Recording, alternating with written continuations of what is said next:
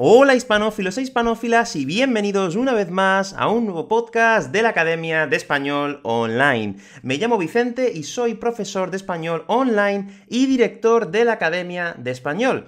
Y en el podcast de hoy vamos a hablar sobre... ¿De qué vamos a hablar? Ah, sí, vamos a hablar sobre la diferencia entre el verbo ser y estar con algunos de los adjetivos que funcionan con ambos verbos, tanto con ser como con estar. Y si me estás viendo en YouTube o me estás escuchando en Spotify, justo tengo delante de mí, tengo tres refrescos y un gajo, o perdón, un ajo y un gajo de ajo. Sí, efectivamente, tengo tres refrescos, un ajo entero y un gajo de ajo. Es una pequeña pieza de ajo. Y tú dirás, Vicente, ¿qué haces con tres refrescos y un ajo y un gajo? Un ajo y un gajo. ¿Qué haces, Vicente? ¿Qué estás haciendo? Bien, pues porque te voy a explicar de una forma clara, bueno, voy a intentar explicar de una forma clara y directa la diferencia de los verbos ser y estar con algunos adjetivos. Pero antes de empezar, voy a contestar a varias preguntas que me ha hecho una de mis estudiantes, y la verdad es que me parecen preguntas muy interesantes y que puedo contestarlas ahora mismo. Quiero recordarte que si te suscribes a la Academia de Español Online, aparte de enviarme tus preguntas para que las conteste en el podcast, también tienes eh, un montón de cursos para aprender español. Este mes hemos terminado con el curso de español para los negocios. También tienes actividades en todas las lecciones, y también, pues bueno, puedes enviarme preguntas, puedes enviarme sugerencias para próximos cursos o sugerencias para próximos podcasts. Y un montón más de cosas. Cursos, actividades, podcast, PDF para, para trabajar con las actividades y vocabulario de los podcasts. Podéis enviarme las preguntas, como voy a responder ahora mismo de, de mi estudiante de Ángela y un montón de cosas. Te dejo el link en la descripción por si te quieres registrar en la academia y empezar a aprender español. Bien, voy a empezar contestando un par de preguntas que me ha hecho esta estudiante que creo que son interesantes. Eh, bueno, pues Ángela me pregunta, eh, hola Vicente, tengo varias preguntas. Em, ¿Dónde se coloca el objeto indirecto? ¿Delante del verbo o puede ir también detrás? Dice, porque siempre, siempre he leído y entendido que debe ir delante del verbo a menos que sea gerundio o imperativo. Por ejemplo, María le canta una canción a su madre. Bien, Ángela, bueno, en este caso no vas mal encaminada. De hecho, lo has dicho tú ya. a menos que sea gerundio o imperativo o infinitivo. Has olvidado el infinitivo. Si tenemos un verbo en imperativo, infinitivo o gerundio, este artículo, tanto de objeto indirecto como de objeto directo, puede ir tanto antes del verbo como después del verbo. Por eso te confundes, porque puede ir tanto delante como detrás. Por ejemplo, Ángela, yo puedo decir, te voy a responder a tu pregunta. O puedo decir, voy a responderte a tu pregunta. Las dos frases son exactamente las mismas y tienen exactamente el mismo significado. También puedo decir, voy a utilizar el gerundio, estoy contestándote a tus preguntas o te estoy contestando a tus preguntas. Puedo decirlo antes o puedo decirlo después, siempre y cuando tengamos un gerundio, un infinitivo o un imperativo. Pero ¿qué pasa cuando no tenemos uno de estos tiempos verbales? Bueno, pues en este caso, pues podríamos utilizarlo solo delante del verbo, como tú me has dicho. Le canta una canción a su madre. María le canta una canción a su madre. En este caso estás utilizando el presente simple. Por lo tanto, no puedes poner este objeto, ya sea directo o indirecto, no lo puedes poner detrás. No podrías decir, María canta, lee una canción. En este caso, no. No podrías poner este objeto eh, indirecto detrás. ¿Por qué? Pues porque canta es el presente simple. ¿Ok? Bien, María, te voy a responder... Eh, perdón, Ángela. María, Ángela, tienes un nombre muy bonito, me encanta tu nombre. Mi tía se llama Ángela y siempre me ha gustado su nombre. Bueno, me pregunta, por en segundo lugar me dice, hola, la siguiente pregunta es, la palabra mucho siempre va seguida de un sustantivo, ¿no? Dice, bien, cuando usamos el verbo gustar en una frase, ¿se utiliza siempre mucho masculino y no mucha femenino? Por ejemplo, me gusta mucho la paella. Paella es femenino, pero decimos mucho, no lo entiendo. Bien, Ángela, tranquila. En primer lugar, tranquila. Vamos a diferenciar entre dos tipos de mucho. Mucho cuando funciona como adverbio, como en este caso, me gusta mucho la paella. En este caso, mucho no va con paella. No, no, no, no, no. Va con el verbo. Está modificando al verbo. Me gusta mucho. Y en este caso, este mucho es invariable. No cambia nunca. Es como si yo digo, yo trabajo mucho, yo estudio mucho, o yo leo mucho. No cambia nunca. En este caso, no cambia. Pero ¿qué pasa cuando mucho tiene la función de adjetivo y va junto con un sustantivo? Como por ejemplo, mucha paella. Por ejemplo, he comido mucha paella. Yo puedo decir he comido mucha paella. Pero en este caso, Ángela, quiero que tengas algo muy en cuenta. Mucha paella, en este caso, mucha, no está modificando al verbo, sino que tiene una función de adjetivo. ¿Ok? Yo puedo decir he comido mucho, He comido mucho, este mucho está modificando al verbo. O puedo decir he comido mucha paella, pero en este caso mucha no está modificando al verbo. No funciona como un adverbio, sino que funciona como un adjetivo, y por lo tanto tiene que concordar con el sustantivo. Si paella es femenino, usamos mucha. Por ejemplo, en mi ciudad hay muchas personas, o por ejemplo, yo siempre veo por la calle a muchas personas. En este caso, muchas está funcionando como un adjetivo. Por lo tanto, tenemos que modificarlo y convertirlo en femenino plural. Muchas personas. ¿Ok? Bien, pues espero que esta duda haya quedado un poco más o menos resuelta. Si no, Ángela, y hace tiempo hice un vídeo sobre muy mucho, te lo voy a dejar en las tarjetas de este vídeo, de este podcast, perdón, para que puedas echarle un vistazo y quizás aclarar un poco mejor tus dudas. Bien, bueno, pues ya no me entretengo más, ya no me entretengo más, ya no me entretengo más. Vamos a empezar con el podcast de hoy. Pero, pero, pero, como sé que os gusta, a los de Spotify no estoy seguro, a los estudiantes que me escucháis en Spotify no estoy seguro, pero a los que me veis en YouTube, creo que os gusta mucho cuando grabo desde mi terraza. Así que hoy me voy a ir a la terraza a grabar el podcast. Así que, ¿estáis preparados y preparadas? ¡Adelante!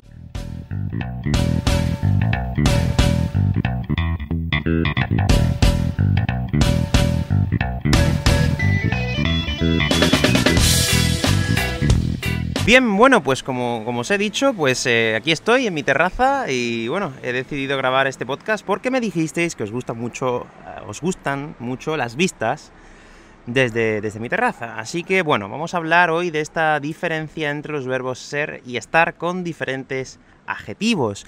Y para ello, pues he cogido un par de alimentos que tenía en la despensa de mi cocina y bueno, pues vamos a ver por qué esta diferencia. Vamos a empezar con ser y estar bueno. ¿Ser bueno o estar bueno? ¿Cuál es la diferencia, Vicente? ¿Cómo lo diferenciamos? Bueno, pues para ello he cogido estos refrescos que estáis viendo aquí, una, la típica Coca-Cola eh, y el típico refresco de, de limón, que bueno, comúnmente en España lo llamamos Fanta de limón. Da igual si es de la marca Fanta o no es de la marca Fanta, se le llama Fanta de limón. Entonces, en mis manos tengo una Fanta de limón, una Coca-Cola y un ajo. Y un ajo, es todo lo que tenía en mi despensa. No me ha dado tiempo a ir al supermercado a comprar más cosas. Bien, bueno, vamos a ver, Vicente. ¿El ajo es bueno o está bueno? Bueno, pues en primer lugar, el ajo es bueno. El ajo es muy bueno para la salud. De hecho, el ajo es un alimento prácticamente inflamatorio, antiinflamatorio. Y está muy bien. El ajo es casi una medicina. Es buenísimo. Ahora, si tú me preguntas, ¿está bueno? Bueno, a ver, la verdad, aquí tengo un gajo de ajo, tengo un gajo de ajo en mis manos y la verdad es que pues no, no está bueno. Yo no me lo comería así ahora mismo porque no está bueno. Es muy bueno, el ajo es muy bueno para la salud, es bueno, pero no está bueno. Bueno, si queremos buscar algo que esté bueno, podemos buscar quizás la típica Fanta de limón. Una Fanta de limón, pues, está buena, sí, es, refrescante, sabe a limón. Está buena, está muy buena. ¿Es buena? Hombre, no es buena, no es buena porque tiene mucho... tiene azúcar, tiene conservantes, tiene estabilizantes, tiene productos químicos prácticamente. Eh, tiene un ingrediente que se llama ácido ascórbico. Esto no puede ser bueno. Esto no es bueno, esto no, no, esto no es bueno. Por lo tanto, el ajo es bueno. El ajo es bueno para la salud, pero no está bueno. Un poquito sí, pero comerse un gajo de ajo no, eh, no está bueno, obviamente no está bueno, aunque es muy bueno para la salud en general. Y las bebidas refrescantes, los refrescos, están muy buenos, la verdad es que están buenos, pero no son buenos para la salud, no son buenos para la salud. Bien, vamos a utilizar otro adjetivo, en este caso el adjetivo rico. Ser o estar rico. A mí me gustaría ser rico. Me gustaría ser rico, pero, pero no lo soy. No soy rico. ¿Qué le vamos a hacer? La vida es dura a veces, pero bueno, da igual, no soy rico, estoy contento con mi vida. Y este refresco, este refresco, pues está rico. Está rico, pero un refresco nunca puede ser rico, porque obviamente no puede acumular dinero. Una persona sí. Mi vecino, uno de los vecinos que vive por ahí enfrente, estoy seguro de que es rico, porque tiene una piscina, tiene una piscina en la terraza. Obviamente, pues este señor, pues yo supongo que es rico. Tiene que tener mucho dinero. Bien, como volvemos al ajo. ¿El ajo está rico? Bueno, pues sí, un poquito de ajo en la comida, pues le da un sabor muy bueno, hace que la comida esté rica, esté rica y tenga, sabor y esté buena. A ver, ¿el ajo puede ser rico? Pues no. Bueno, sí, puede ser rico en, en nutrientes y en minerales. Por ejemplo, pues la fruta es muy rica en, en minerales y en diferentes vitaminas. Es muy rica en vitaminas. Pero es rica. Bueno, podemos decir que sí, es rica en vitaminas. ¿Ok? No confundamos la diferencia, no confundamos esto. Ser rico implica tener dinero, tener una fortuna. Estar rico, cuando decimos estar rico, hacemos referencia al sabor de un alimento. Mm, bien, hacemos referencia a ese sabor que tiene el alimento. La Coca-Cola, pues está rica, la verdad es que está rica. Muy bien, está rica, está buena, está buena. Vamos a ver otro adjetivo y lo vais a entender perfectamente. Y es el adjetivo de nuevo. Ser nuevo o estar nuevo. Este es muy difícil, ¿eh? Pero creo que con el ejemplo que os voy a poner lo vais a entender perfectamente. Este micrófono que estáis viendo aquí, tengo delante de mí un micrófono que lo llevo utilizando un año. Este micrófono tiene un año. Este micrófono que tengo aquí en mis manos, tan grande y tan bonito, tiene un año, pero está como nuevo, está nuevo. Mirad, está prácticamente nuevo. Pero la semana pasada compré este micrófono más pequeño, este micrófono un poquito más pequeño, y este micrófono es nuevo. Este es nuevo. Tiene 7 días, es nuevo, es prácticamente nuevo. Pero mi micrófono antiguo, aunque tiene un año, está nuevo. Mirad, está completamente nuevo. ¿Y cuál es la diferencia entre ser nuevo y estar nuevo? Bueno, pues cuando algo es nuevo, significa que básicamente lo estamos estrenando, lo estamos usando por primera vez. Por ejemplo, este micrófono que os he dicho, que he comprado hace una semana, es un micrófono que es nuevo. Vamos a ver cómo funciona, pero es nuevo. Y el micrófono que he usado siempre no es nuevo, no es nuevo, porque tiene un año, pero está nuevo. Está prácticamente nuevo, mirad, mirad, los colores, está, está nuevo. Bien, ¿veis esta diferencia entre ser nuevo y estar nuevo? Por eso muchas veces el verbo ser y estar puede ser confuso, porque dependiendo del adjetivo tenemos un significado o tenemos otro significado. Por ejemplo, os voy a poner otro ejemplo. Eh, alto, alto o alta. Una persona alta o una persona o un, o un hombre alto. Una mujer alta o un hombre alto, por ejemplo. Bueno, pues en general los jugadores de baloncesto son altos. En general los jugadores de baloncesto son altos. Pero voy a utilizar estar alto. Mi prima, mi prima tiene, tiene 10 añitos. Mi prima es una niña pequeña, pero está muy alta. Está muy alta para la edad que tiene. Está muy alta para la edad que tiene. Aunque no es alta, aunque no es alta, tengo que decirlo, pero está muy alta. Está muy alta. Vicente, ¿cuál es la diferencia entre ser alto y estar alto? Bueno, pues ser alto simplemente indica que tienes una altura, pues podemos decir, por encima de la media en general. Y estar alto es cuando queremos decir que algo está alto eh, en referencia a cómo debería ser, por ejemplo. Mi prima, pues mide supongo que un metro veinte, un metro treinta, más o menos. La estatura normal para estos niños, pero está alta. Quiero decir que para la edad que tiene, está alta, está bastante alta. ¿Ok? No quiero decir que sea alta, a lo mejor no va a ser una niña alta, pero para la edad que tiene está muy alta. Bien, espero que hayáis aprendido la diferencia entre estos eh, adjetivos cuando los utilizamos con ser y estar. Pero antes de terminar con este podcast, quería enseñaros una cosa, y es que tengo aquí uno de mis alimentos favoritos, la crema de cacahuetes. La crema de cacahuetes.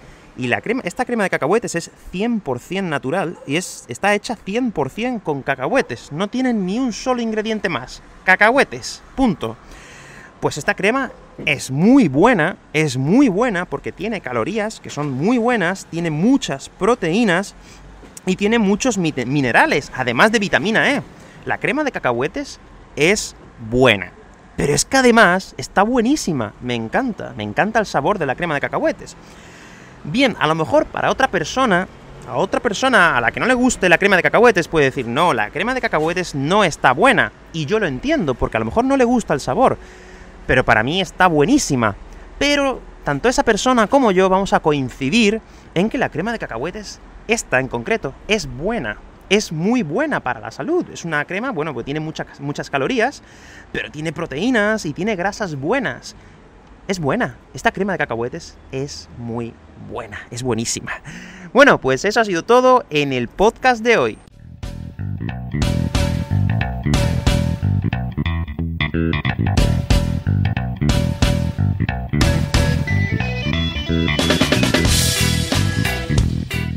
Bien, bueno, pues espero que hayas aprendido un poco la diferencia entre el verbo ser y estar cuando funcionan con algunos de estos adjetivos que te he enseñado. Por ejemplo, bueno, rico, eh, nuevo, alto, etcétera, etcétera. Bien, bueno, pues eh, recordarte que si estás suscrito a la Academia de Español Online, si vas al podcast número 55, te puedes descargar el PDF para practicar con algunas de estas actividades con ser y estar. También te he dejado una tabla con el vocabulario de, esta, de este podcast, con todo el vocabulario que he utilizado, que a lo mejor no conoces, lo tienes en el PDF del podcast 55 de la Academia de Español Online. Y bueno, pues eso ha sido todo. Ah, ah, ah, antes de terminar, me encanta, me encanta, antes de terminar, si me estás escuchando en Spotify o en Apple Podcast o me estás viendo aquí en YouTube, quiero hacerte una pregunta. Me gustaría, por favor, que me dijeras un alimento que está bueno para ti. Un alimento que para ti está buenísimo. Por ejemplo, para mí la crema de cacahuetes está buenísima. Tiene un sabor que me encanta. Está buenísima. Pero me gustaría saber qué otros alimentos están buenos para ti. Así que por favor déjamelo en los comentarios para yo saber un poco tus gustos, para saber qué has aprendido con este podcast y para saber que has mejorado un poco tu español. Así que por favor dime qué alimentos están buenos para ti. Y bueno, pues ya no te entretengo más, no te doy más la lata. Con esto hemos terminado el podcast de hoy. ¡Hasta luego!